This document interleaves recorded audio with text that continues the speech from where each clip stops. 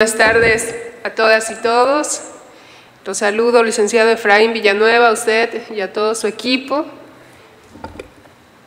Quiero iniciar con parte de una frase que está dentro del informe, del quinto informe de gobierno, que dice, la fortaleza económica y la calidad de vida de nuestras familias se relaciona con nuestra capacidad de proteger nuestra riqueza natural.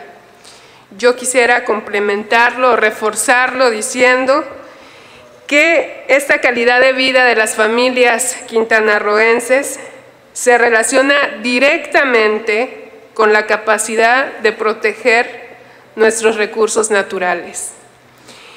Y también hoy quiero darle eh, un reconocimiento a todo su equipo, porque es de las secretarías que más rápido responde cuando se solicita una información y sobre todo cuando hay un exhorto emitido por esta legislatura, responde a esos exhortos. Esto habla de que tiene un equipo que considera que nosotros podemos incidir con nuestras opiniones en los planes y los programas que ustedes tienen eh, proyectados y que están considerados en sus planeaciones. Eso habla muy bien de ustedes. Mi primera pregunta está relacionada con un dato dentro del informe que dice que en el 2017 se inició con la operación de un sistema estatal de información ambiental, CEIA, del cual brinda información cartográfica en materia ambiental. Mi pregunta sería, específicamente, ¿cuáles son los datos que se obtienen de esta información cartográfica?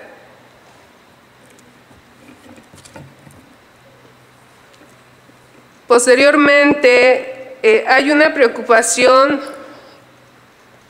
yo como habitante de este bello municipio de Otompe Blanco, nosotros tenemos una especie que nos da identidad, que es el manatí, que lo vemos representado en una fuente tan importante que, que es parte de la vista y del paisaje de nuestra hermosa bahía de Chetumal y que a partir de eso también pues hay una declaratoria de reserva estatal de protección a esta especie. Dentro del informe abarca eh, un dato que me pareció importante para que usted también pueda ampliar, que dice que en el 2019 se instrumentó un monitoreo poblacional del manatí. En el 2019, así se interpreta, se observaron 98 organismos que representan el 65% de los registrados. Es decir, 35% consideran que se pudo haber dispersado dentro de otra región que también es parte de esta conectividad, que es eh, el área de la bahía de Corozal. En el 2020 también menciona que únicamente se observaron seis manatís en muestreo. De lo que parte aquí la información, eh, se entiende que ustedes hacen una suposición de dónde quedaron el resto de las especies, ya que dice que no pudieron hacer la evaluación al área que corresponde de Corozal, que es donde piensan que se pudo haber eh, desplazado estas especies. ¿Qué propuesta tienen o cuál es el plan de manejo a futuro? Porque dentro también del informe de gobierno mencionan las múltiples acciones de cooperación internacional. ¿Qué ha hecho falta para que exista esta cooperación con la parte de Belice y podamos tener datos reales de qué eh, número o cuánto tenemos en cuestión de especies del manatí? Porque si estamos considerando una reserva y no tenemos datos exactos de cuánta especie estamos perdiendo y cuánta especie se está manteniendo en su hábitat, eh, pues sí, es de preocuparnos y es de ocuparnos. Entonces sería eh, también parte de mi segunda respuesta, ¿qué acciones se pretenden implementar para tener los datos exactos y en un futuro también saber con qué número de especies cuenta la parte que nos corresponde aquí en esta área de reserva. Y bueno, también dentro de este mismo tema, quisiera saber si usted, secretario, tiene información de alguna denuncia de habitantes ejidatarios o avecindados de las localidades que comprende esta reserva estatal del Santuario del Manatí, como puede ser de Raudales, Laguna Guerrero, Luis Echeverría o Calderitas, por daños al ecosistema provocados por el hombre y que es muy claro que pueden estar perturbando y degradando el hábitat del manatí. Sería por mi parte las primeras preguntas. Gracias, Presidenta. Gracias, diputada. Adelante, secretario. Gracias. Eh, gracias, diputada Cobos, por sus comentarios, por su pregunta. Eh, yo quisiera, en primer lugar, responderle a lo que corresponde al Sistema Estatal de Información. Eh, este, este sistema se construyó dentro de la Secretaría precisamente para poder compartir información de los programas de manejo, de eh, las manifestaciones de impacto ambiental que traemos y de mucha de la información que se genera producto de la actividad cotidiana y el cumplimiento de nuestras responsabilidades. Y también con el objetivo de que podamos tener una retroalimentación de la sociedad y que les pueda ser útil también a las instituciones académicas, a ustedes como legisladores que están vigilando precisamente también el, cumplimiento por parte del Ejecutivo de los programas que ustedes aprueban.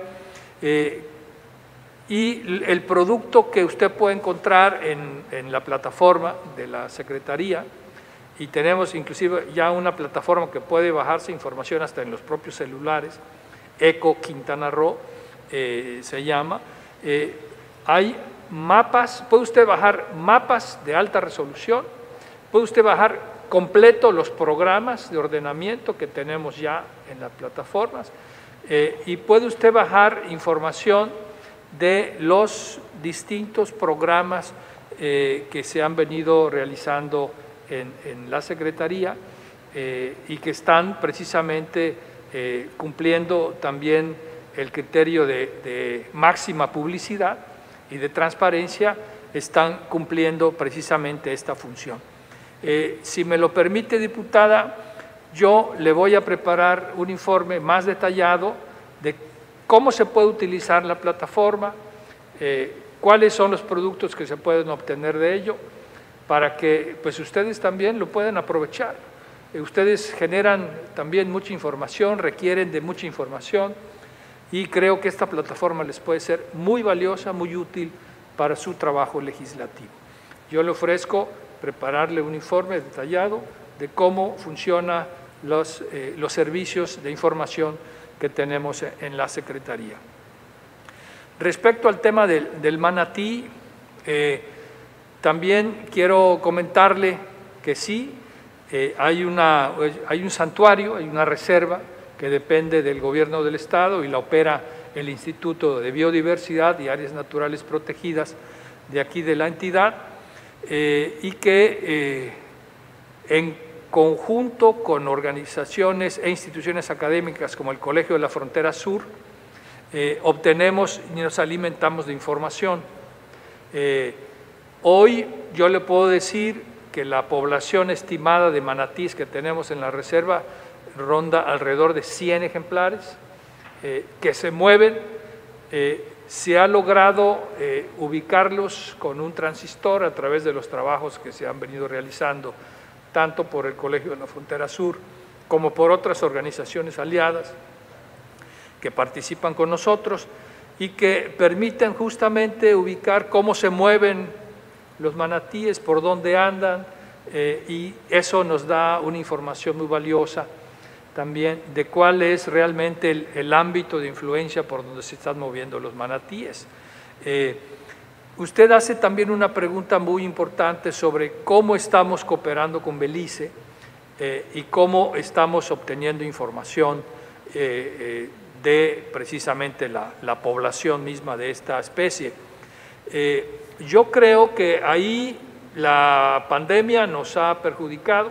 Por ejemplo, hoy la relación con Belice ha sido poco complicada, todavía no hay un tránsito eh, fluido eh, y eso nos ha limitado también para obtener, eh, sobre todo en el contexto de varios programas que traemos con Centroamérica, como el mismo programa Selva Maya, adicionalmente al tema de, de Manatí, pero que estamos ya viendo la posibilidad de que realmente se pueda fortalecer este tipo de actividades, inclusive con eh, programas como el que señalaba yo hace un rato, el Caribe Circular, que es el que manejamos también con la Comisión Centroamericana de Ambiente y Desarrollo, donde también está Belice, eh, y que estamos viendo con ellos no solamente temas de, la reserva del, del Santuario del Manatí, sino también temas ligados al arrecife mesoamericano, y a las posibilidades inclusive de construir un seguro que sea un seguro regional, que traiga un beneficio mayor y un menor costo de lo que hoy nos está costando a nosotros.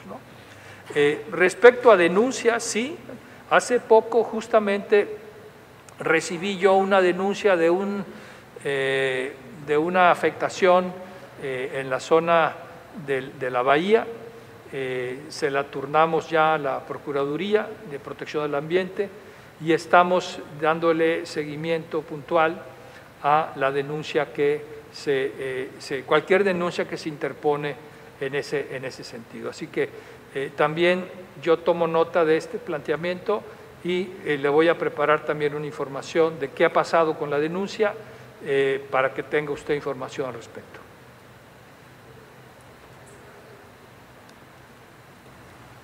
Gracias, diputado.